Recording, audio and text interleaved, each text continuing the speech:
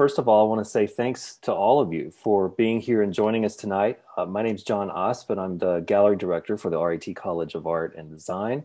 And that includes RIT City Art Space, which is located in the historic Sibley building at Liberty Pole Plaza in downtown Rochester, New York. We're currently hosting an installation of Untitled LA. It's a work of art by the late Felix Gonzalez Torres and it's on view right now, and it's uh, will be on view through February 21st of 2021. And this installation, you can sort of see it behind me uh, in my virtual background, is made up of thousands of pieces of individually wrapped green candies, and they're spilled neatly on the floor. And viewers are able to take a piece of this candy when visiting the space in person. So I encourage you uh, to visit City Art Space if you're in town. We're currently open to the public Thursday through Sunday, 1 to 5 p.m admission's always free. And so I hope you get a chance to visit the space and uh, encounter this work in person if you haven't already. Tonight is our last discussion in a series of online talks. Our first presentation was an introduction to Felix Gonzalez Torres and his works uh, that are known as Candy Spills. Um, and that's now accessible on our website. You can check that out at cityartspace.rit.edu if you missed it, along with the second talk we hosted, which was actually a panel discussion on World AIDS Day. It was sort of connecting the artist and his work with broader themes of historic and current AIDS awareness efforts. Tonight's talk is called From Exclusion to Inclusion, and we'll focus on some contemporary perspectives of his work, um, centered around how the artist, Felix Gonzalez Torres, both challenged and accepted the limits of contemporary art institutions. And we'll also talk about this work, you know, if it's still, um, in a larger sense, relevant today. Uh, in the wake of current events, in the light of a global pandemic and um, wide social political unrest.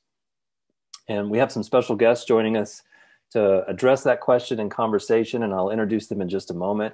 We've also compiled some quotes from members of our extended community, and we asked them if this piece is still relevant today.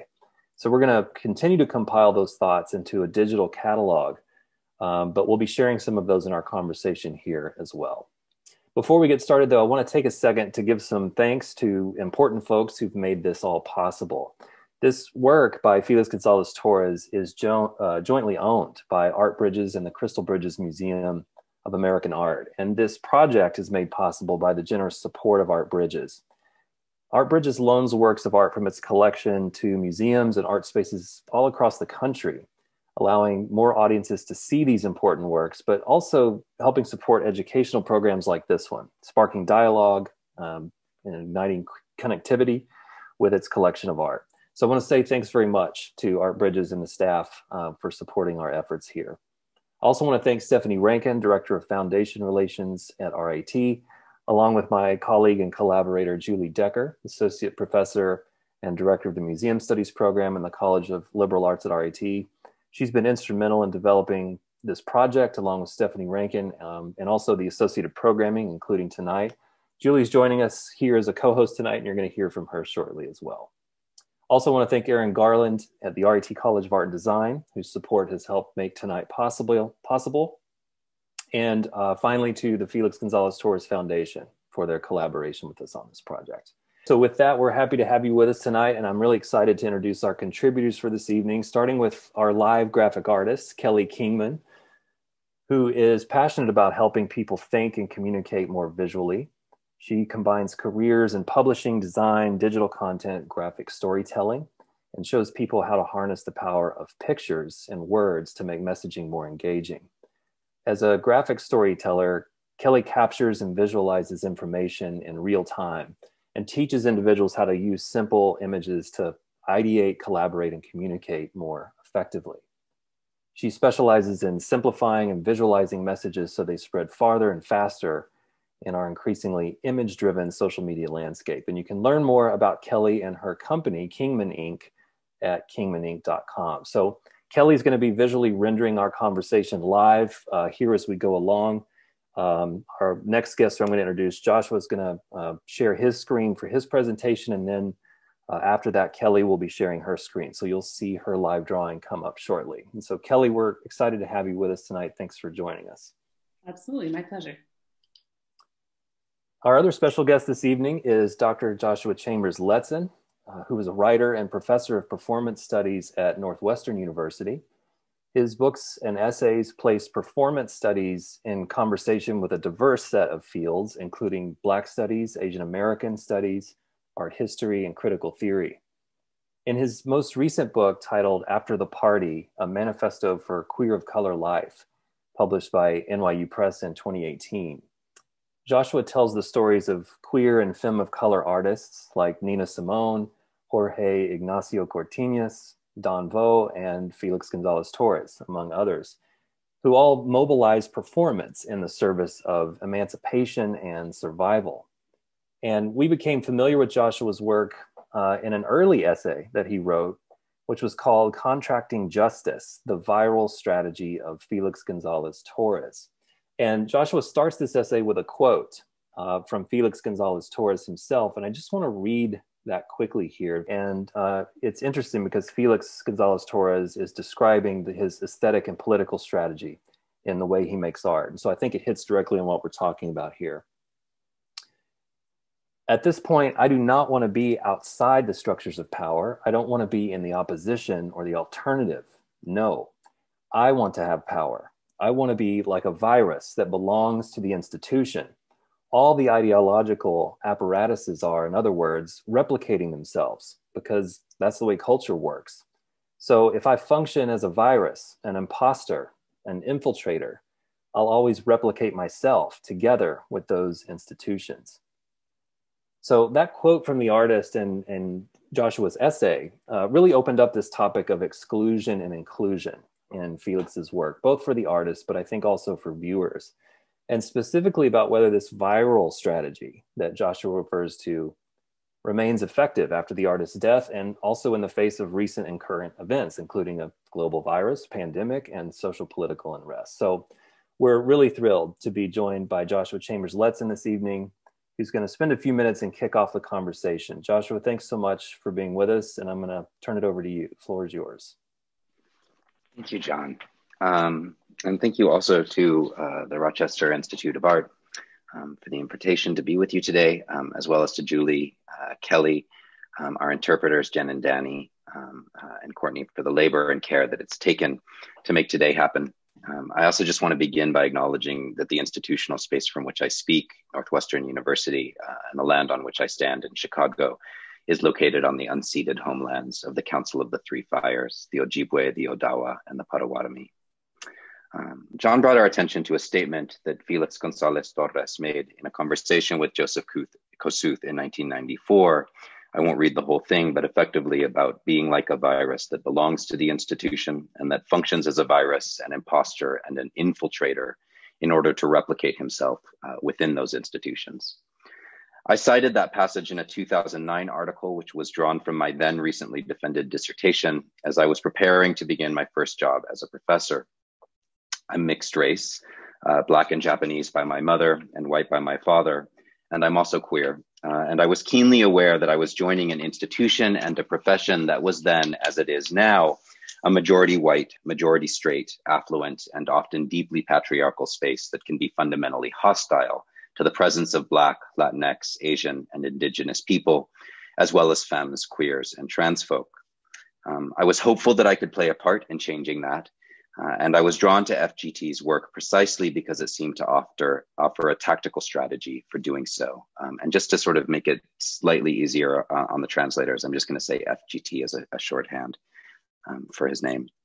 Um, so as I mentioned, I teach at Northwestern and the words diversity, inclusion, and equity um, is a phrase that we hear with nearly mechanical regularity on campus.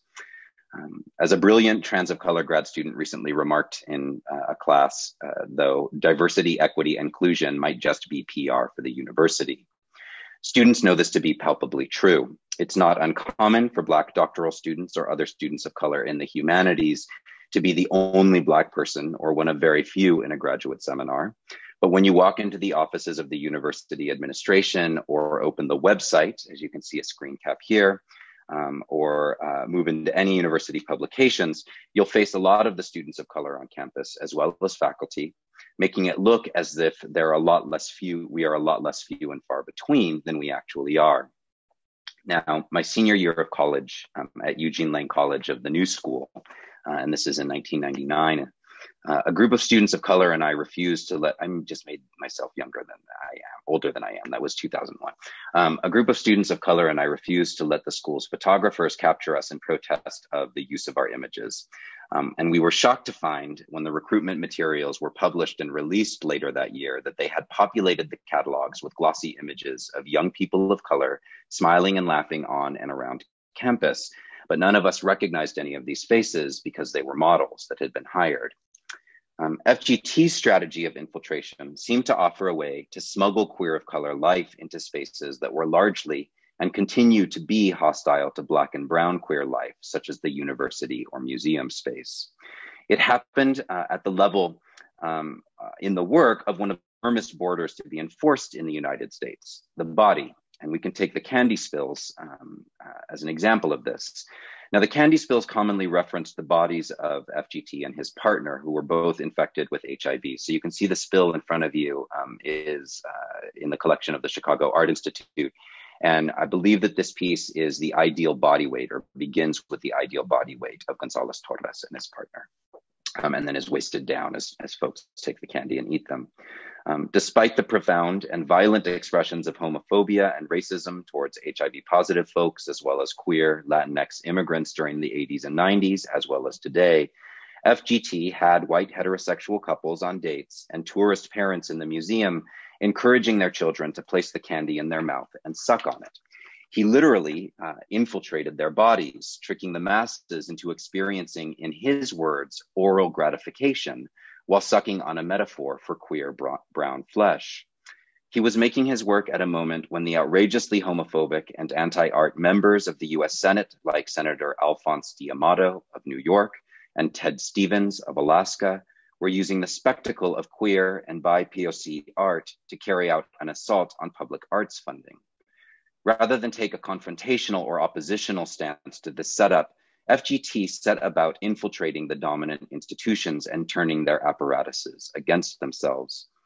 I think one of the reasons that FGT has become something of a saint for so many queers of color who have followed in his wake is that his strategy actually worked. He did the impossible. In 1994, he received a solo show at the Smithsonian Institute's Hirshhorn Museum, just a stone's throw away from the phobic bubble of US Congress. He was a huge success in the market at a time when queer artists of color couldn't get a showing, and most can still today barely pay their rent. And still, in the work, one found a profoundly politically engaged discourse on queer and POC life, as well as a steady critique of the operations of neoliberalism, white supremacy, US empire, and patriarchy. Uh, his work was what Black feminist theorist Bell Hooks described as having a subversive beauty and staging a radical new mode of contestation. Those were her phrases um, in her 1994 essay for the Hirshhorn catalog.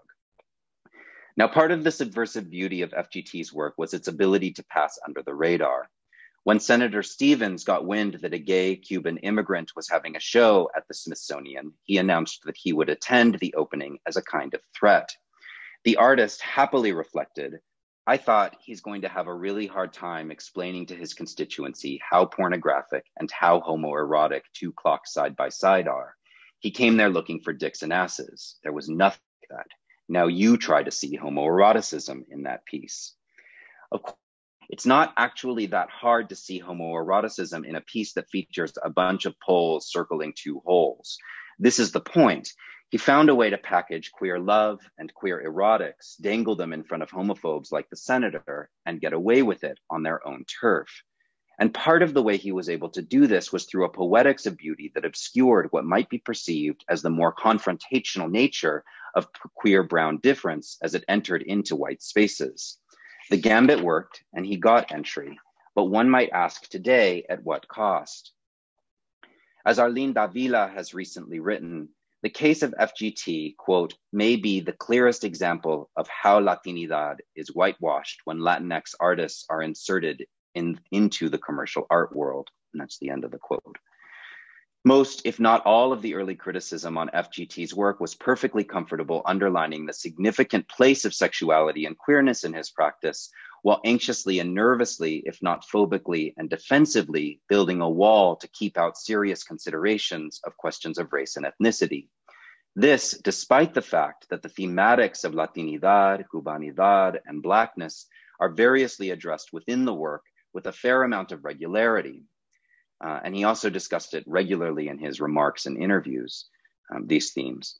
For closing intersectional analysis, dominant approaches suggested that FGT was more palatable to the art world as a white seeming or white passing gay artist than as a Latinx queer subject who was infiltrating the cultural institutions of white US American privilege and power. Many of the critics and curators who actively guided the unlikely work of a gay Cuban HIV positive refugee, later living with and dying from AIDS, into white box exhibition spaces and Tony art publications were often themselves white. Few to none of these interlocutors, critics, and scholars had a history of engaging with and were thus not attuned to sensing the Latinx, Cuban, Cuban expat, and otherwise brown content of the work. So much of the criticism of his work, for example, will completely cut out um, his years of training at the prestigious University of Puerto Rico, the work that he was doing at UPR, um, including the art historical engagement that he was making with, for example, um, the graphic tradition of um, uh, sort of decolonial artists in the 1950s in Puerto Rico. Um, when this early critical consensus established questions of race and ethnicity, if at all, they would usually point to the fact that the artist eschewed expected approaches to such matters before quickly pushing the problematics of race to the side. In the resulting years, the critical literature on Gonzalez Torres has had a shockingly segregated response, as white critics and curators tend to underline FGT's critique of identity protocols in order to ignore and refuse all the many things he had to say about race and ethnicity, while in turn, approaches to his work that give sustained critical attention to the question of race and ethnicity have been primarily um, explored by scholars and critics of color. Much of the burden of FGT's whitewashing is placed at the feet of his white patrons and even his estate, but I think the story is somewhat more complicated. Many of us, because we love FGT, have not placed pressure on his own role in the process, and also because we have understood the impossible position that he was in. In the United States, artists and intellectuals of color often gain recognition and inclusion within the institutions of the dominant culture, such as museums or universities, through an instrumentalizing process of collecting that is primarily meant to demonstrate a given institution's commitment to niche consumerist corporate values of diversity, equity, and inclusion. One understands why FGT wanted to avoid this trap Artists of color may be curated together based on abstractions such as nation of origin or racial and ethnic affinity rather than the work's concerns. Such forms of multicultural inclusion may do little to address or even be contrary to disestablishing the structural conditions that maintain the museum, art space, or university as phobically and sometimes dangerously and violently white spaces. But I still have to wonder if the oblique strategies that FGT affected to infiltrate these structures did not in some way reinforce the racial, sexual, and gender hierarchies that structure life within the institutions of the art world. After all, like myself, FGT was a light skinned and racially ambiguous, masculine bodied person. He had a proximity to whiteness, including his much romanticized love affair with his white boo, Ross Laycock. He was often read as a man, and he was trained to speak in a master discourse and with the colonists' master tongue in a way that made him palatable and even easy to include without the majoritarian sphere making any major concessions. As the artist Glenn Ligon observed in a piece of writing that is otherwise a love letter to FGT, during his lifetime, Felix was the artist of color whom curators and critics buzzed into the corridors of power while the angry torch and issue wielding others were told to go around to the service entrance or wait by the coat room.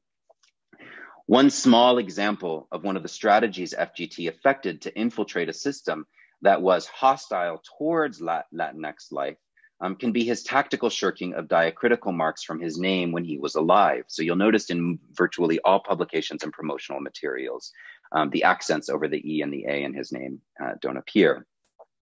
Um, I have published on his work many times, and when working with the Felix Gonzalez Torres Foundation, authors are instructed to remove all diacritical accents from his name in order to secure image permissions. The terms that the gallery gives for the stipulation are conditional and based on the artist's own interests. Um, so when the foundation wrote to me that the artist, quote, intended and practiced for the diacritical marks to be used only within Spanish speaking contexts, I responded by pointing out that the United States is a, a Spanish speaking context. Um, the foundation refused this argument, uh, so I made my peace with the removal of the remarks in previous publications by understanding it as respecting the wishes of a dead man that, despite the feelings of intimacy I feel with his work and life story, I never actually knew. They would know better than me what he wanted. But I was left to wonder first if I was simply participating in the artist's politically suspicious act of passing for white so as to be commercially palatable, or on a much more generous register, if the foundation and I were honoring a survival strategy that may have made sense and even been necessary for the artist in 1994, but has come to be positively reactionary in 2021. My initial rejoinder was correct, I believe. The United States is a Spanish speaking context. It always has been. Um, as many of my friends in some of the southern border states will say, we didn't cross the border, the border crossed us. Um, so the removal of diacritical marks from contemporary publications reproduces the kind of everyday violence that erases the long presence of Latinx life from within the country, normalizing the cultures of white majority rule down to the level of phonetics. This erasure is connected to a social logic that allows us to understand the indefinite and inhumane treatment of racialized Black and Latinx migrants and their children, including their detention in cages at the border, as acceptable since they are marked, not unlike the diacritical marks, as not of this context, and thus not worthy of even the most basic ethical consideration. Indeed, the white supremacist order in which we live has never functioned along a logic of total exclusion. Cages are themselves a form of inclusion on which national identity is violently founded as are the categories of exceptional privilege that may be extended to, say, a Cuban refugee as opposed to a dark skinned Guatemalan refugee, or a light skinned gay man as opposed to a black trans femme. To put it bluntly, I think we have to reassess the success of the strategy of infiltration. If we thought his infiltration of an ascendance in the art world would make it any less possible that the art world would fail vulnerable populations during a pandemic whose effects have been disproportionately distributed to the already vulnerable, as was the case in his lifetime, the events of the last year might give us pause as that very thing has happened in an even larger and more compressed form. I still often go to museums like the Museum of Contemporary Art or the Art Institute of Chicago to encounter FGT's work, since it is often proudly included and displayed in such major institutional collections.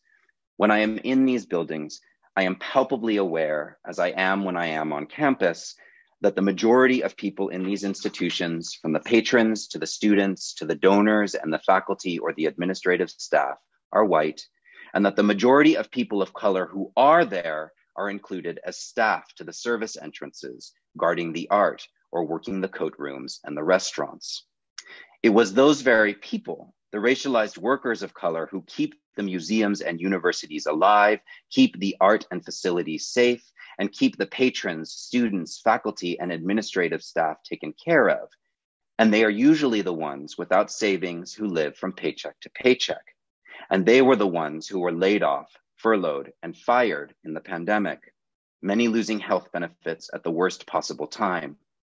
Just last month, Chicago's Museum of Contemporary Art laid off 11% of its staff much of which was precarious and contingent Black and Brown labor. Northwestern University similarly furloughed much of its racialized and immigrant facilities and services staff as its majority white and well off faculty and administration have weathered the storm safely in our homes, or worse, they decamped uh, to winter homes. Uh, I'm sorry, to summer homes in warmer places. I don't have one of those. Um, as such, I worry that an answer regarding the success of strat- the strategy of infiltration will not come from someone like myself, nor even from someone like Felix. In the final instance, we uh, may simply have been used as models in the glossy catalogs and recruitment materials of the institutions that let us in the doors with no intention of ever actually changing. The answer as to the success of this strategy may instead come from the MCA and Northwestern workers who have lost their jobs, who don't know where the rent is going to come from and are lining up at the pantry just down the street from me to get some food for their kids or their parents or themselves, or who couldn't answer the question at all because COVID has already taken them from us. Thank you. Thank you, Joshua. That that's um, there's a lot in there to talk about. The sort of visual uh, uh, rendering that's going to be taking place live as we continue here, and it looks like uh, she's already got quite a bit completed here. So uh, we'll be digesting that visually as we contemplate what Joshua just uh, presented here, and then also some of the, the questions and quotes we're going to get through. So I'm going to turn it over now to uh, our co-host, Juilee Decker, who's been assembling some quotes uh, and working with those contributors. We're going to use these as talking points uh, as we move forward in our discussion here, but we're also going to uh, open it up for, for questions, especially in response to what Joshua just said. But I'm going to turn it over to Juilee now to continue the discussion here. Juilee, we received, uh, you know, around a dozen quotes or so from a variety of contributors. So there's lots to talk about here. There is, John. Thank you. Um, I guess I would, before I um, take uh, or share some of the quotes out, um, I would just ask if anyone has a question immediately for Joshua after his presentation. So we do have one from Ketsia. So Ketsia's question for you, Joshua, is are there other artists that inspire you the same way in terms of queer and Latinx art? Yeah, that's a great question, right? I mean, I think actually, um, you know, the truth is, is like there's libraries and libraries full of artists, and I think a lot of the artists, um, for the exact reason that we're discussing, right? A lot of those names um, uh, weren't ushered into the corridors of power, right? And a lot of the artists, um, including queer Latinx artists that were working at the time um, that Felix was working, who didn't have the same kind of institutional imprimatur, right? Are um, an older generation now. Many of them didn't stay um, working in art because their work uh, wasn't sustainable, um, uh, and others are still working, but you know can barely pay the rent, right? Um, uh, so the list is wide, um, but I think you know I'll talk about just right now and like the contemporary moment. Um, you know, you have really extraordinary performance artists like Nao Bustamante, who sort of emerged out of the San Francisco performance scene um, in the 1980s and 90s, um, and has been a central figure in um, queer and Chicanx performance in Los Angeles, alongside a new generation of amazing um, uh, uh, artists and performers like uh, Dorian Wood and uh, Rafa Esparza um, uh, uh, as well as Gabriela Ruiz, who also um, has the name Leather Puppy, right? Um, and I'm naming a lot of folks that tend to work in performance, which is sort of my area of specialization.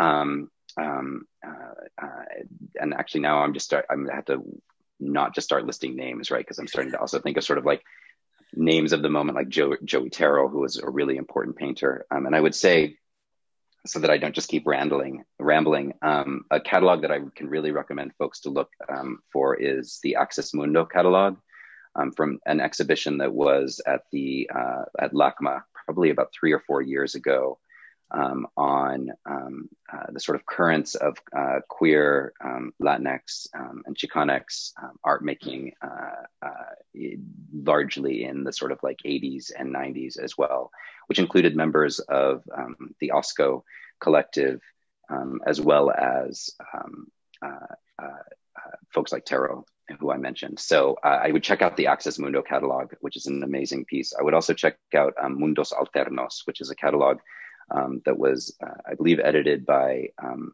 uh, Rob Hernandez, who was the curator of the show. It was a show at the um, uh, Art Museum at the University of Riverside, which was sort of thinking about um, speculative fictions and Latinx world making, but also engaged with a lot of really amazing um, um, artists that were also associated with, say, the Axis Mundo show, people like Mundo Meza, etc. So that's those are just some names to, to look for. But I think in sort of giving you that list of names, you can also see that there is a huge body of work out there that itself can be obscured by how much attention has been paid to Felix's profoundly important work, right? But often at the expense of other artists that we might engage or think in relationship to the kinds of practices and cultural communities that he was working in and with.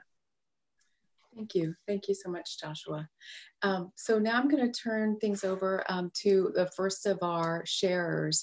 Um, and just so everyone's aware, um, folks who are on um, the attendees uh, who did submit their commentaries in advance, um, I'll, in terms of process, I'll enable your uh, audio, but not your video.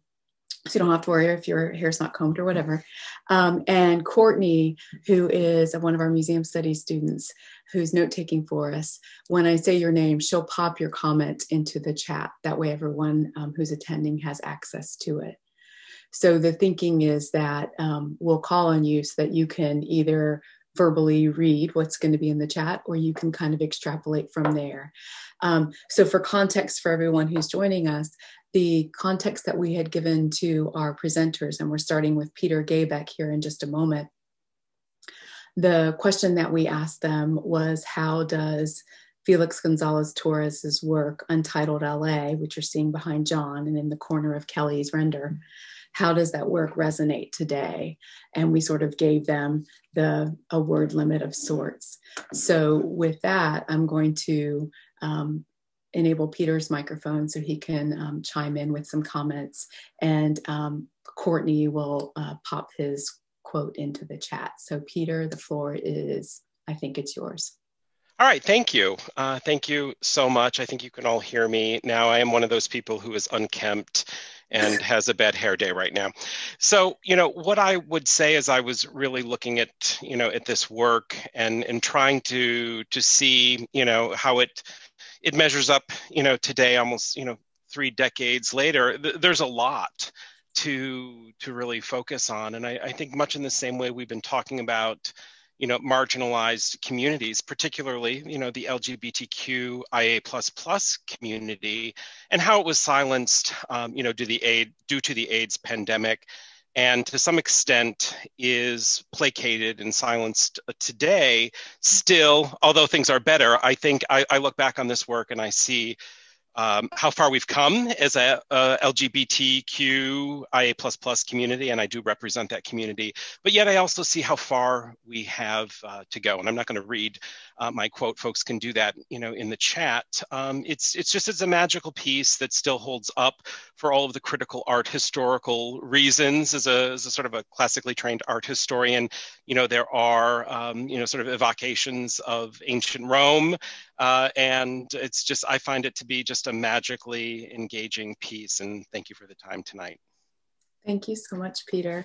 Uh, the, one of the words that you use, just kind of um, connect with that, one of the words that you used in your phrasing um, is, let me find it, it's on my highlighted sheet. Um, just one moment. Um, you have the word unwrapping a single jade cabochon with a crinkle.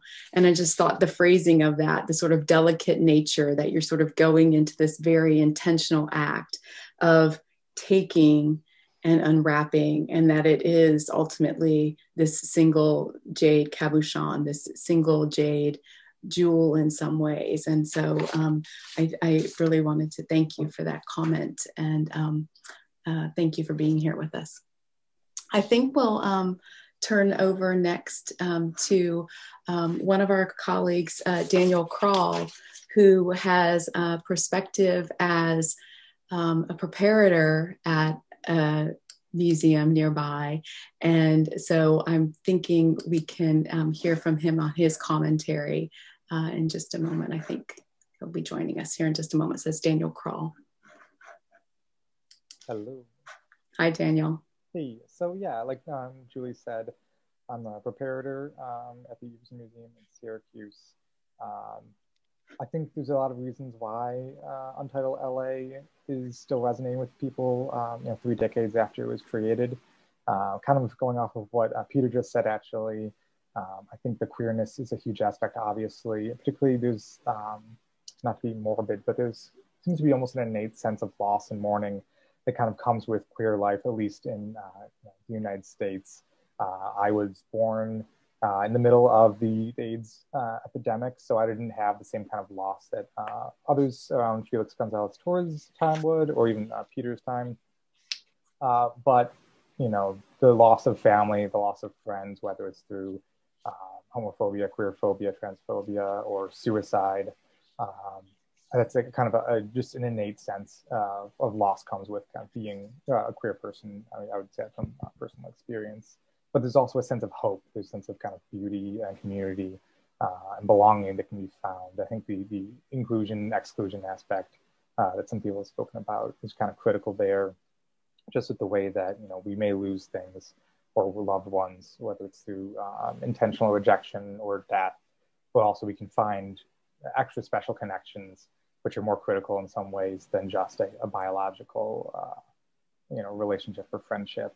Um, and I think obviously just with the way that 2020 and 2021 have been going, um, you know, I didn't experience losing friends to uh, HIV or AIDS, but losing friends or family members uh, through COVID or just seeing people waste away for one way or another, whether it's mentally being stuck at home or not. I think that's why uh, another reason why the work just really resonates still. Thank you, Daniel. Thank you very much. Um, we were, John and I were commenting before we um, started the presentation tonight, um, just the way in which the work has taken on this new relevance in light of COVID in a, in a sort of a different space. And we were struck by the number of comments and just even throughout our suite of events. So we started our events last year and have been um, scheduling them every so often virtually to sort of keep the um, reminder of this work and its um, resonance present in our own community as well. So um, thank you, Daniel, for your comments. Yeah, I just want to pipe in there too, if I can, Juilee, yeah. Um, about, uh, you know, we kind of talked about, uh, Peter talked about how, you know, we have made a lot of progress um, in institutions, but they still are pretty heavy rocks that are hard to move um, and especially from Joshua's point of view, that, that the institution still has a lot of work to do, whether it's a university or a contemporary art institution. Um, and that might call into question whether the viral strategy of Felix was uh, effective. But I think, uh, at least so far, and I think in all these quotes, we're hearing that the the piece, and and maybe, and Joshua, you can correct me here, but uh, that Felix intended for this piece to be adaptive to to changing circumstances uh, even if it maybe not lived up to its full promise. Um, but it seems like it it does that. It it, it allows the, the piece cha- is allowed to change enough that it it still connects with people on a very uh, basic level. And Nico talked about this in his presentation that not knowing anything about these levels of, of discourse and criticism about the institution, there's still a very personal, direct uh, experience with taking that piece of candy, almost like a communion, that a lot of people still identify with even today. Yeah, I, w- I would like, um, and one of the things I kind of wanted to say in the remarks, but I didn't because I was trying to keep them short, right, is that I, I wanted to sort of attenuate maybe my critique of the strategy versus the critique of the work itself, right? Um, the part of what I was putting pressure on, it, you know, and, and one of the, I think, tragedies of his loss um, is that he made work that was constantly shifting and meant to be adapted in context to the context um, that it worked in. So the work is designed to actually adapt. And an example that I can give is that um, you know his portraits were um, these kinds of spatial experiences where you walk into a room and you see a list of dates and events, um, usually wrapping the sort of top of the room. Um, and he made a self portrait to that effect. At the Art Institute, they have a portrait of the Art Institute. And when you go to see it, it's up right now, or at least it, I haven't been there in a year, but um, uh, you'll see uh, references of things that happened since uh, he died, right? So one of them is it says Barack Obama Millennium Park 2000 or Millennium Park 2008, which is referencing Obama's speech in 2008. Um, so the work itself was updating for the times, but because he passed in 1996, we've sort of frozen him in that moment, which means even some of the strategies that he carried out have been frozen in that moment. Like I wonder whether the diacritical marks would have remained out of publications at this point or not, right? Um, so some of the pressure I was trying to put uh, on him is more on the strategy itself. And I wonder if even now, if he were still here, I don't even know how old he would be, right? But I think he would probably be in his 50s or so. Um, if we were to ask him, how did that strategy of infiltration work out? He might feel a little bit wearied. I, I guess I want to believe he might feel a little bit wearied like myself, where it was like, you know, how it started versus how it ended were two very different things that one can enter into um, a practice um, uh, deploying a strategy of infiltration and that the work might do extraordinary work as as um, like Untitled LA does, um, but that it might not have actually been transforming the institutions that he was entering in. Maybe the work that it was doing was something else, right? I think one of the things that is really carried for forward in Felix's work is that it has created space for community that doesn't always feel like it has space, right? For queers who don't necessarily feel like we have a space to put all of the loss that structures our lives, whether it was loss during the AIDS crisis um, or even the loss of the generation um, in the AIDS crisis that might have mentored and raised up the next generation that came up. And his work has really created sites of intergenerational relation and care. And even just like I live with my two partners, they are the loves of my life. And in no small part, I learned how to love them through Felix's work, right? So I think the success of the work might not rest in the strategy. Like my critique of the strategy is not to say that the work itself isn't working. Yeah, that makes a lot of sense. Uh, Juilee, I'll hand it back over to you. We've got some questions in the Q and A we're going to get to here in a little bit, but I want to get to some of the more quotes that Juilee has here. Yeah, yeah. Thank you for that comment, uh, Joshua. Appreciated that. Um, Michael, Amy, so you're up next. So um, we'll pop your quote into the chat there, um, and you're welcome to expand on that or build off of um, comments that you heard this evening from Joshua or otherwise. Yeah, I'll just uh, read what I what I wrote about what, three weeks ago. Uh, I've I think I've seen the piece several times in New York City in different iterations. So, um, Untitled LA remains pertinent because it is a work which remains formally and conceptually in flux. It contracts and expands upon the floor as visitors remove identical elements from it and attendants add new ones to its configuration. The latter changes over time as well as from place to place, while the shifting whole takes on the meanings its surroundings and audience project onto it. This work's shimmering green suggests young foliage reflected by water, and thus life, and thus hope, all of which are under siege today with the warming of our planet and rising social and political turmoil worldwide.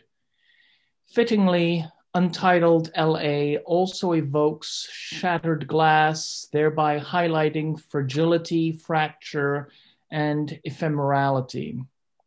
However, what compels is the kindness of this work. Touch me. Take me. Place me in your mouth. Suck upon me until I am gone. It is about the gift of life and life taken away. Yes. Thank you so much, Michael. Thank you very much for that. It's um, interesting you mentioned the broken glass because there was a student in the space today who who also said that she thought it was broken glass when she first looked at it, um, which I thought was a really interesting contrast between that that kindness you talk of, Michael, um, an invitation to partake in it versus a kind of uh, more threatening substance. Yeah. And I was struck, Michael, by the way you picked up on the, the natural elements, um, this idea of changing over time, but also water and life and the natural elements, which um, I'm not sure about everyone, but I crave so much, particularly during COVID when we feel so closed in, um, not only literally but um, figuratively as well.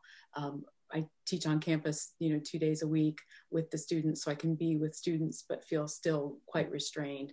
And the awkwardness and the way in which you can't really, you know, tap a student on the shoulder to say "good job." You, know, you really can't engage in that sense of touch. And so I was really struck about um, your elements uh, of your piece that spoke to nature and this idea of touch as well.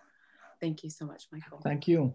Uh, I'm, I'm interested because it's a work that really can take you in all kinds of different directions. Uh, it, it is basically so simple, and you know it's it's something that's also you can't quite pin it down because it's it's a work that involves color and light, and of course, uh, you know, is, is, it a work of sculpture? Is it, you know, it involves it involves people. Uh, you know the, the people who come into the gallery and then of course the people who have to nurse the work tend to the work uh, make sure it stays alive uh, that it doesn't you know disappear within a within a matter of hours um, So it's um, you know, I, I, wish I had had more space to uh, to write about it. Uh, 150 words was uh, was a good challenge.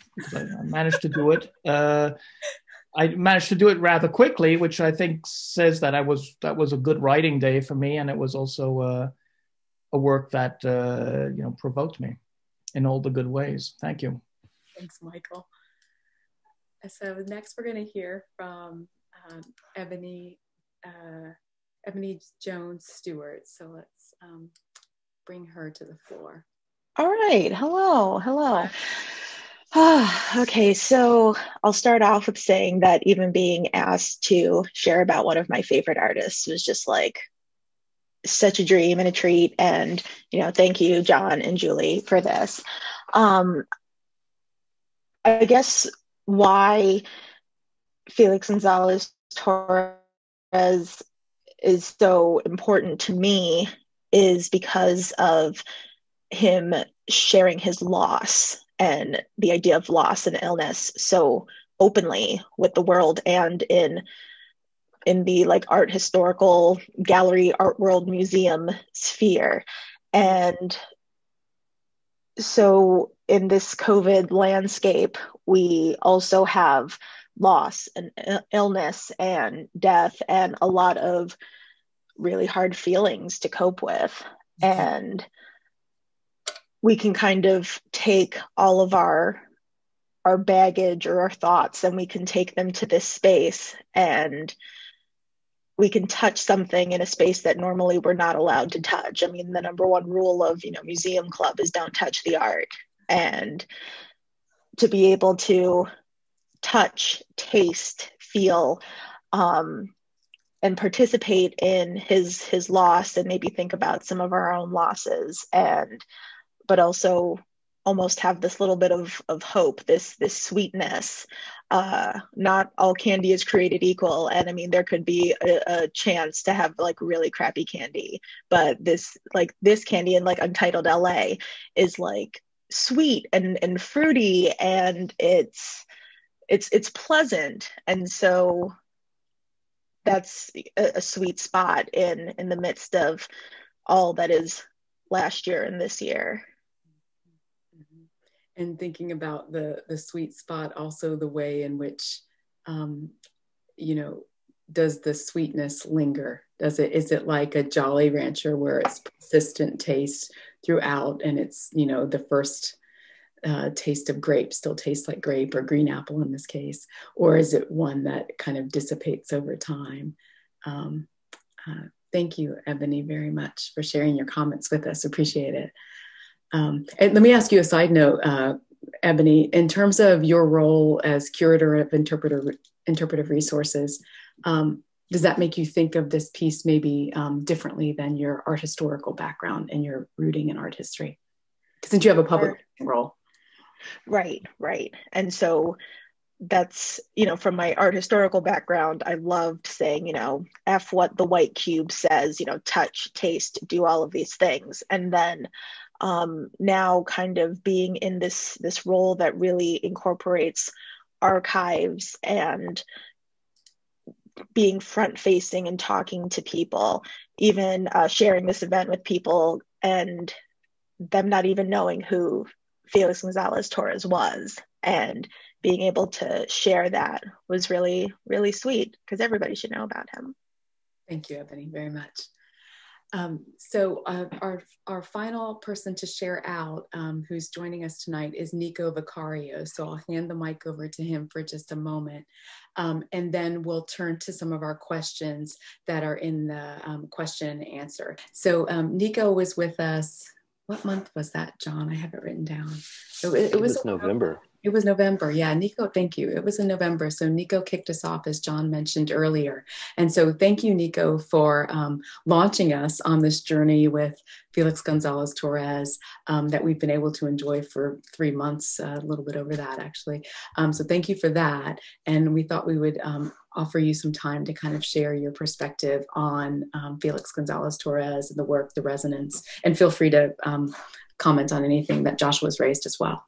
Okay, uh, I didn't I didn't prepare anything, but it's really nice to um, attend the event uh, today, um, and also to have heard um, from the speakers at the, at the second event. Um, I mean, fascinating. I think that for me, it's really the richness, the kind of inexhaustibility of the work that some of the other um, people sharing today have, have touched upon that um, there, there's a richness that the artist himself spoke about um, right that he wasn't interested in controlling the meaning the circulation of meaning um, that the, the work would be rewarded by very diverse um, interpretations and, and responses so i think this event today is, is a testament to that so i appreciate um, the openness of, of this platform for um, different people to engage and, and contribute.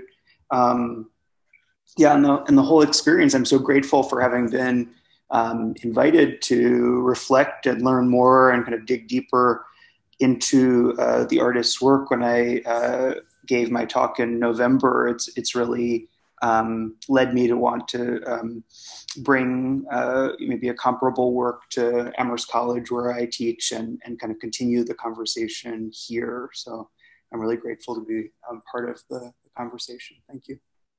Thank you so much, Nico.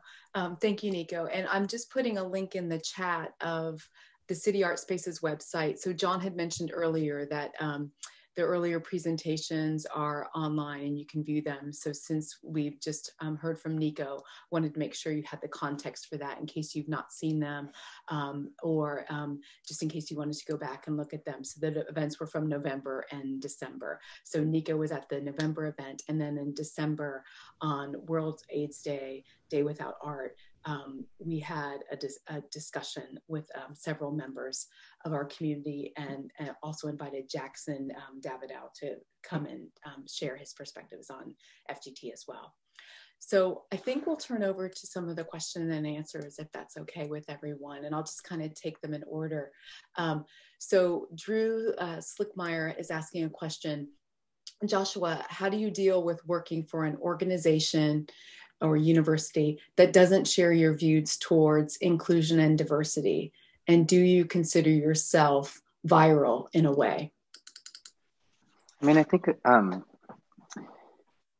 I think part of the um, no, I don't. I don't know that I consider myself viral in any way now. I think you know part of what I I've been trying to grapple with is that that um, when I first encountered Felix's work, um, I'm you know I grew up in Colorado, and I moved to New York City uh, in 1999 for college. And uh, one of the first things I saw as I was walking through Soho was this billboard um, with these two sort of a bed with these two imprints in it. And I didn't know what it was. I just thought it was really beautiful, and it was sad. And I was this you know sad little gay boy straight off the plains of Colorado, and it just I thought it was beautiful. And um, I didn't know anything about art, but it seduced me. And um, a few, about two years later, I was living in a studio in Queens, going back and forth to classes in Manhattan. Um, and that same billboard showed up um, in a um, uh, in a train yard that the train would go by every day. And I became so sort of obsessed with that billboard, which at that point I thought was haunting me, um, that I just started looking for it. And lo and behold, one day I was looking through an art book, and there it was. And that sort of started this love affair with Felix. And part of what seduced me was um, that the work could be so beautiful and that you know without knowing anything about him i could see these two empty beds and knew that it was a story that that was telling a story that that in 1998 wasn't being told um, for queer kids. Um, i knew i was entering into queerness um, uh, at a moment when so many had just died because of the first wave of the pandemic and the more that I learned about Felix, the more that I found myself mourning as a 19, 20, 21 year old that this person had somehow figured out how to, you know, break into these institutions that that were hostile um, uh, and to, to create work that, as all of the speakers tonight have been noting, was so profoundly effective and affecting, right? Um, and so I was really attached to what he articulated as the viral strategy. And I think I probably overinvested in that as my own kind of professional strategy, right? Like if you can get in the door and you can sort of trick your way in, then you can try to push um, uh, for more change. Mm. And um, that makes a lot of sense for a 19, 20, 21 year old who hasn't yet had a job to sort of imagine like when I, once I get a job working for the man, I'm going to be like the virus on the inside that messes it up, right? Um, and you know, I went through grad school. I got my PhD. I was very lucky to get a job as a professor, um, and I thought to myself, like, yes, I've done it. I have avoided corporate work. And then the first thing that anybody who becomes a professor realizes within like the first month of the job is you're like, I thought it was a vocation. I thought I was like, I thought this was some medieval shit where we were going to like put on robes and like have ideas. And you realize like, oh, I have a corporate job. Um, I work at a corporation, right? Um, and one of the ways that that became really palpable for me over the last 10 years has just been watching, um, you know, I am lucky to teach in a department that is majority uh, faculty of color as well as majority um, graduate students of color. Um, and there are just some beautiful, wonderful things about the things that we're able to do in that space. But it, it even in a space um, like that, you know the students are often drowning. The students often come to this institution that is majority white that is very affluent and they um, uh, experience anything from gaslighting to just outright abuse by the institution. Um, and then i sit on hiring committees where i watch and award committees and all sorts of you know the professional service that one does in one job. And i watch folks bend over backwards to not hire can- like really qualified candidates of color. Um, just like like astounding the things that will come out of people's mouths to block a candidate for no reason other than that they're not the mediocre white person that we could also choose. Mm-hmm. Um, so, so I think over the years, as I've continued to love, really love Felix's work, I think what I've realized is that what seemed to be appealing to me at the time was this sort of viral strategy, was was maybe more of a kind of youthful hope for how one could um, make one's peace with one's place inside of an institution. Um, but the thing that's extraordinary about Felix's work um, is that it didn't actually, the viral strategy didn't have to pay off for all of the things that everybody is mapping out here to, to, to work, right? And I think an example of that would be um, the piece at hand that we're talking about, Untitled LA. Um, uh, so, you know, he didn't title his pieces, he would leave them untitled, but like any good um, I, I call this like gay Virgo control freak behavior, which I'm a gay Virgo. Um, uh, he put these parenthetical references. So he didn't title the piece, but he gave you something that was maybe kind of a title, but not the title, right? Um, and this particular title, LA, seems kind of oblique. We have also we could have all sorts of associations with it, just including the fact that like you know my family's in LA and I live in Chicago, and it is very warm right now. and um, you know, living out the pandemic at a distance of them has been hard. I lost both my grandparents in the last couple of months. But LA just seems like a space where there is life and light and air, right? So there's that association. But I also just know from my research in, in Felix's work that um, he fell in love with this guy, Ross Laycock, at a bar uh, in Toronto, boy bar. Um, and um, because of immigration rules, they were never really allowed to live in the same place because uh, Ross was a Canadian citizen and Felix was, um, um and uh, I believe he actually became an American citizen. He was certainly um, in the United States. And one of the only times they were able to live in the same place was in Los Angeles for about six months. But they got to Los Angeles, and um, Ross's AIDS had advanced to such a degree that in Felix's writings of the time, what he narrates is watching Ross slipping away from him during that time. Um, so they finally got to live in the same place, and he witnessed the end of his partner. And um, there's something so totally extraordinary about the simple gesture of just this piece, which we've been talking about, taking the candy and eating it, right? But what, what we might also be seeing is a reference to um, the, um, not only the wasting of Ross and the loss of Ross, but also the way that we participate in that. We take the candy, we chew it up, we eat it, we consume it, we get pleasure out of it, right? And we watch this body waste away. Now, that's an extra incredible move to make. And it has nothing to do with infiltrating the dominant society other than to say our love story might have mattered and meant something, right? Um, uh, so I guess the answer to that question would be how I feel about it is that I have maybe moved away from romanticizing the notion of infiltration and transforming the system from the inside out, which is really kind of what he was saying. um, and instead understood that there can be a wide range of strategies that we have at hand to make real interventions in the world um, that could tell an 18 year old kid that didn't believe it would be possible to find love. Um, that it is possible and that there are ways to do it, and could also prepare that kid for the fact that that love might also be devalued, it might even be lost, right? That's an um, that's an extraordinary thing, um, but that it doesn't have to be the kind of um, viral strategy. So how I feel is uh, like I have a more sober relationship to my job. I recognize it as a job. Um, uh, I don't see it as kind of guerrilla practice, as I think Felix would want to have wanted us to see it as. Um, but I still recognize the conditions of possibility for making real interventions as he was able to do in and through his work. I hope that makes sense. And was kind of a long, rambling response, but that was great. Thank you. Thank you, Josh. So, so um, next up is Terry's question, and um, I'll pop it in the chat as well. But Terry's asking, um, your presentation reminds me of the AIDS quilt and the ashes of loved ones who died from HIV released at the Capitol. Forgive me, I forget the date. There was debate on which was more effective in infiltrating the white politicians to gain attention and help. So the AIDS quilt and the um, ashes of loved ones. So if you wanted to respond to that, Joshua maybe I wouldn't use the word infiltration in part because I've been um, punching it so hard tonight, um, right? But I, but what does the both of those interventions um, and Felix's work um, strike me uh, as as demonstrating the actual power that aesthetic practice can have to intervene in the sphere, right, uh, in the public sphere, um, and um, the the AIDS quilt was a kind of extraordinary gesture, not only because it took um, a collective experience of grief that the nation officially refused to acknowledge, and it laid it out right um, uh, on the National Mall, where Congress and the White House could not avoid it. Um, you know, I think President Bush, um, uh, who you know, of course, had been part of the disastrous Reagan administration's response. Um, to the HIV crisis, um, himself had to visit it and perform a sort of gesture of mourning, right? And and there is something so extraordinary about taking the aesthetic literally to the seat of power um, and and saying here live with the loss right as it's been materialized in this way.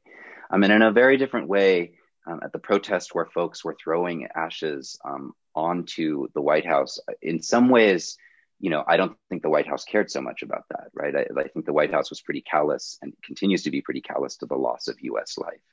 Um, that act as a performance um, as an act of activism where it was profoundly effective or where I've seen it be really profoundly effective, weirdly, as like years later, as people have watched that footage, that documentary footage, and seen that, uh, and and uh, that that has really galvanized and mobilized people in a way where it, um, I think, can produce a will towards action. So. I, I would suggest maybe that some of the power of, of Felix's interventions, um, as well as the two interventions that were just uh, named, the AIDS quilt and the activist intervention when when ashes were thrown onto the White House lawn um, were powerful less as because they were infiltrative, but more because like any kind of aesthetic act or performance, they happened out in the in the public and they reached out to touch people, right? Um, uh, whether it was sort of using the the staging of the National Mall as a way to make that intervention, um, or just the power of the gesture of coming to a place that says, "You do not care about my uh, my dead and my unmourned, so I will deliver them to you." Here, right? Um, um, and that's less about infiltration. It's more about reaching out and touching in a kind of way, in an open way. So I don't know if that answers the question, but. I just wanted to add to that Peter um, Gabeck, uh, who shared earlier with us, he had uh, put also in the Q&A related to the AIDS quilt, um, and I'll just read it, but we popped it in the chat. On the news last night, there was a piece on the young daughter of one of the women who founded the AIDS Quilt Project, and the daughter is now making COVID 19 remembrance qu- quilts in the same manner. So, wondered if you had any thoughts, and that's really open to anyone. So, if you just, um, if anyone would like to share, um, I'm trying to think how they would do that, but I can call on folks, I guess. Um, so, Joshua, do you have any thoughts on sort of like that parallel, this sort of this practice of making and displaying um, quilt handiwork textiles in in these manners? Yeah, I mean, you know, one of the things that um, I've learned a lot from um, um, uh, feminist art historians, um, people like uh, Jeanne Vaccaro and Julia Bryan Wilson, mm-hmm. Um, is about the sort of feminized nature of, of um, textile labor, right? That it's often been the domain of, of feminized labor, laborers. Um, and has been devalued as such, while it has also played a central role in the stitching together and maintaining of the domestic space, right? Um, and and so I've always appreciated um, the AIDS quilt um, for sort of um, taking a devalued domain of labor um, and transforming it into a really kind of powerful statement of grief, mourning, and rage. And and those kinds of everyday small gestures, uh, we might even call them gestures of refusal. There's my dog and one of my partners. Uh, those small everyday gestures can be just sort of remarkably powerful in helping us to absorb the unthinkability of the the like degree of grief and loss that we're living through. So just as like a very simple example, I live in Chicago in the Uptown neighborhood, and about one block north of me, uh, there's a house, and the people in the house just put out a poster um, with fabric and invited people to tie strips of fabric to the fence um, um, to mark their lost loved ones from COVID. Um, and over the last year, I've watched that fence just grow immensely with these tiny pieces of fabric that people stop and tear um, and and line into um, line into that house. And in some ways, walking by that house and that little gesture of this kind of tactile, you know, this is, is a different kind of um, work of working with um, um, of working with fabric, but like that that little gesture has to me been probably been the most effective and moving form of memorializing the ongoing wave of loss that we are living through far more than looking at the graph every morning in the Chicago Tribune or the New York Times that shows me the number of deaths, far more than watching sort of CNN do its roundup of two or three people that they've chosen to um, memorialize, right? But that there is just something about the everyday labor of using your hand to mark a loss and then putting that material in front of other people that is actually like profoundly effective and will continue to be profoundly effective. And there's a reason that people have used that kind of labor for years to mark loss and mark time. So I don't know if that's, that's sort of a response. Oh, I think it's a beautiful response, and just the the entire practice of actually the stitch work, but then also the evenness of. Um, I'm a daughter of a quilter. My mom quilted for a very long time, and the evenness of that stitch work and the the therapeutic um, nature of it, and and the capacity that the the mere thread and the cloth bring together and yeah. you know, and how it changes over time too. Um, yeah. The end of that, her towards the end of her quilting um, years, the stitches weren't even, and there was always this apology of hmm. It didn't actually resonate in the same way. And it's like, oh please, like it it, it has your touch embedded. Yeah. Just like the candies, every candy, I would presume, John, but correct me if I'm wrong, every candy nearly has John's touch on it. And he played no role in their making, but he played a role in their installation. So that that labor, the unseen labor that we just take for granted um, with stitches, with candy spills. Totally. Yeah.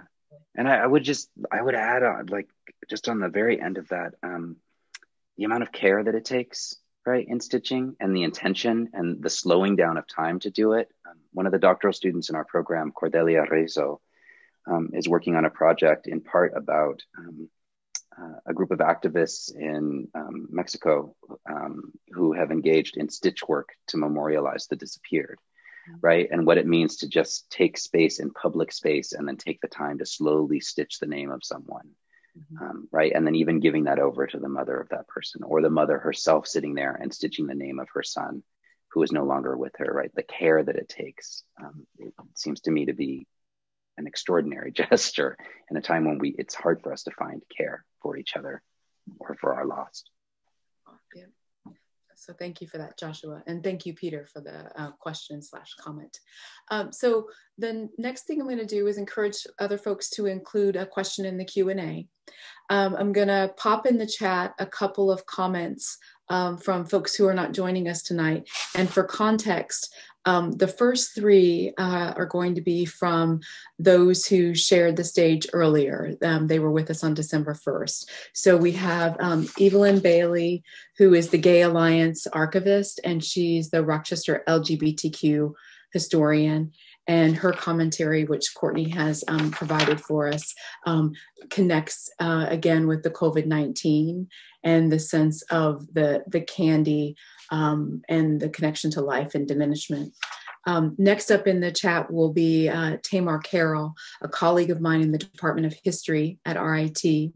And she um, connected the work again to the COVID 19 and making sense of this incalculable loss and the so many minds and sort of the way in which as joshua was just mentioning as opposed to checking your uh, daily counts of the of the covid loss sort of thinking of it and grappling up uh, with it in terms of the number of candies um, on display perhaps. Um, and then third is jackson davidow who i mentioned earlier as well and he's an independent scholar um, based in Boston. And um, I'll also grab uh, here uh, from the for the chat a piece that he wrote recently on at the Boston Review, and I'll pop it in. It's on museums and mourning in the age of COVID, um, which came out when. Uh, the day that Jackson was with us, um, which was really um, quite poignant.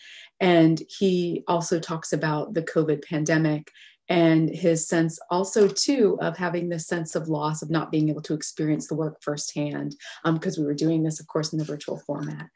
Um, and then i thought we could so you have those quotes and comments from our colleagues in the chat they're listed before you. And then the last one is the url to Jackson's piece in the Boston Review that I mentioned. And then um, my thought was it's about 720. We could see if there are any other questions that folks have. And we also have two other comments or quotes to share. So I'll just kind of pause for a moment and let that settle. Um, Anna or Anna Wager, um, she has offered a commentary for us that you see in the chat. And she is a visual arts curator at Hobart and William Smith Colleges, which is nearby in Geneva, New York.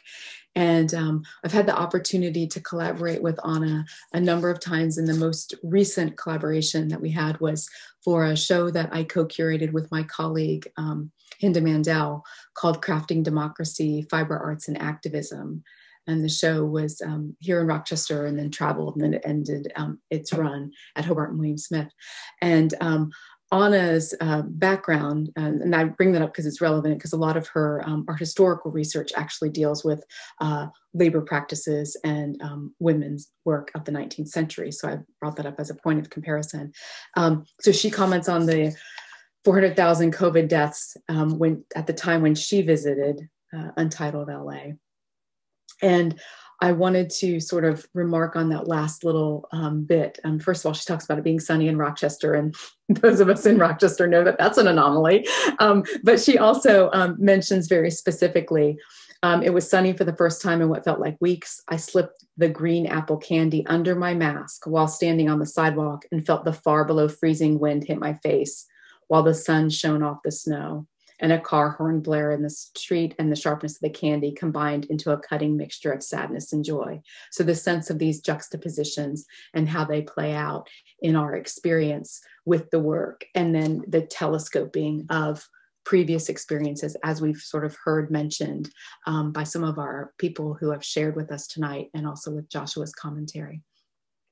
Um, John, I'll turn things back over to you unless you're ready for us to um, close down with Rebecca's yeah, I think uh, uh, another another contributor who um, couldn't make it uh, tonight, but contributed a comment is Rebecca Rafferty, who's the life editor at our local city city newspaper, uh, and uh, her quote brought up a, a lot of uh, different things, but specifically having to do with how the the piece is labeled as as material. You know, typically you'll have a label and it'll say the artist's name, the title of the piece and then the material.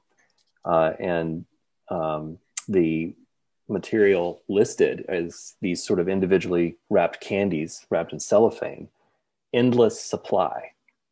And the, the, the attitude behind that is that, um, you know, in, in my case as a curator or whoever is hosting these pieces, and it's one of the reasons these pieces are so amazing to kind of work with is because you can um, sort of customize the appearance of it in the space. And then, of course, over time, especially if you're in a museum with a lot of traffic, over time that piece um, uh, depletes. And as you know, as a curator, if you look on the Felix Gonzalez Torres website or the foundation's website, you'll see how different curators uh, treat this differently. So, in, in some cases, uh, they'll just allow it to deplete. So it, it starts out as very neat and, and unified and organized. And then by the end of the exhibition, it's complete mess. Um, other curators you know will replenish the the candy and repair it and put it back to its original state. Um, and in our case, um, and we talked about this a little bit with Nico in his first um, talk, was that in in the kind of pandemic situation, um, you know, not only did you have this kind of fear of interacting and touching things, but you know, foot traffic was a lot lower, and and the experience of the piece became a lot more remote. And so, uh, this idea of the endless supply of the thing being endless um, brought up some interesting ideas about um, and what rebecca says is we can't really comprehend what that means what what the endless supply is you can see her uh, quote here uh, she says alas real humans aren't always equipped with the fantastical concept of an endless supply of what's missing to replace what is missing uh, make the, making the self whole is a real life, lifelong pursuit and is ideally tackled with the help of a strong community, or failing that, a truly benevolent, not negligent structure of authorities. Uh, and so uh, it feels like the, the endless supply is also kind of related to this sort of uh, endless interpretations and this endless change that the piece is constantly exposed to. And I see we have um, another question in the um, Q&A, and this one comes from Drew. And Drew is asking, what role and responsibilities do you think RIT takes on when it shows a work like Untitled LA by an artist like FGT? So I, I, think John and I could probably comment on that. But Joshua, I'd be interested in what, what you think in terms of what role an institution in general. So we'll, we'll John and I can speak to the RIT-ness of it, but, but I'd like to also hear from you in terms of your perspective on that. Um, so I'm gonna pop the question in the chat just so you have reference to it. But um, I, John, do you want to speak first about the role and responsibility? Um, since I'm the interloper, I mean, it's your gallery space and I'm just an interloper slash collaborator. So I have thoughts and feelings, but. Well, I, will answer the same way. We kind of got this question too before about um, you know the the responsibility and i i thought of it more as a privilege to be able to to to not only show this piece but actually have a hand in in shaping the way it was received by our audience um, and we were able to sort of use the the architecture of the space and you know the piece was originally designed to to mirror the weight of a human being but we chose to to do it in a more geometric fashion and over time it hasn't changed that much because our our foot traffic is lower and and uh, we just talked about that. But um, I think one of the reasons a piece like this is so special to host as a curator or a gallery director or museum director um, is that you get to share that responsibility. You get to share in the manifestation of the work and, and the way it changes or doesn't change over time. And that's different from so many other pieces that that you might get a chance to, to show. And so I see it more as a, a really a, almost a collaboration, even after Felix's death. Um, that uh, that is a privilege to kind of be a part of. Yeah. Joshua, did you want to chime in before?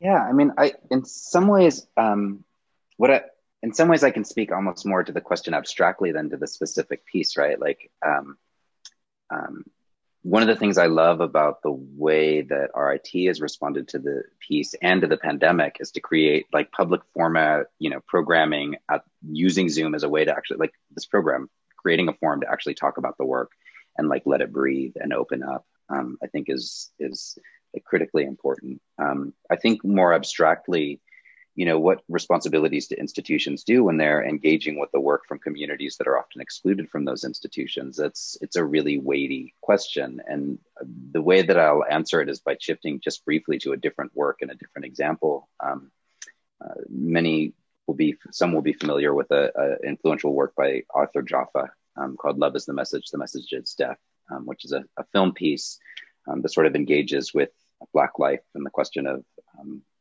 uh, both violence and joy um, that structure Black life.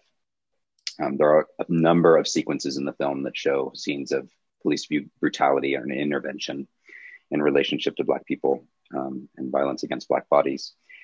Um, and it's very popular in museums. Uh, one sees it being exhibited fairly regularly, and museums are spaces that are pretty hostile to Black people in general, right? So when it was being exhibited here at the MCA, I'm picking on the MCA a lot today, sorry, MCA, but uh, when it was being exhibited here at the MCA, uh, my, my friend and colleague Miriam Petty, who's a, a scholar of Black cinema, Um, she and I went to see the work, and we managed to get there right at the end of the day. And we were, um, you know, as I said, I'm mixed. Um, we were two of uh, the only Black folk in the museum that weren't working the coat check um, and the front gate. And we got into the piece, and it was seven minutes, and um, we knew there were about three or four minutes left of the piece, and we were asked to leave because the museum was closing. Um, and we knew there was like two minutes left. So we're like, okay, let's just like, we know they want us to get out. We know these people want to go home, but we, let's just get our like one minute in. And another docent came in who was very aggressive with us and was just, it was, it was pretty ugly. And it was really um, um, uh, violent for my friend um, who uh, is a black woman, darker skin.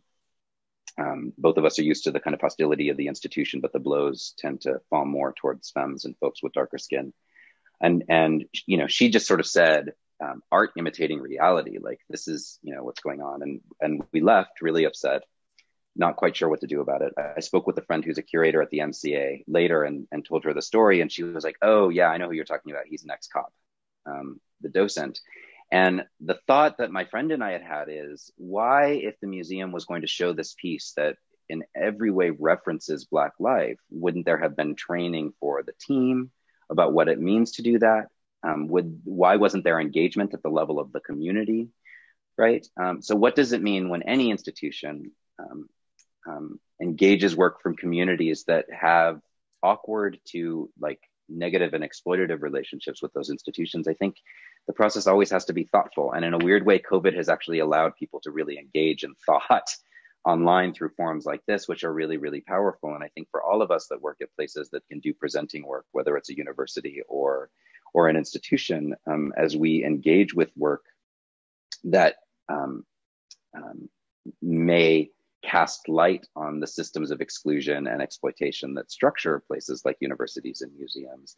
I think we have to be deeply intentional and humble um, um, about that process. So something I really appreciated about the programming about this is that I feel like it has done done that level of work, and I think um, it's always going to be an impossible task, but there are ways that it can go really, really wrong. And that MCA story that I just told you is a prime example of like how profoundly bad um, that it can go, just chiefly because the very thing that, that the museum was intending to show happens in a form in the museum at the scene of the exhibition.